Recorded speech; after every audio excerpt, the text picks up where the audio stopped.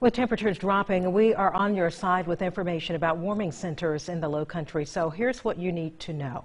People in Beaufort who need a warm place to spend the night are welcome to go to Sea Island Presbyterian Church. It is located at 81 Sea Island Parkway. The doors will open from 5.30 p.m. until 8.30 a.m. each night.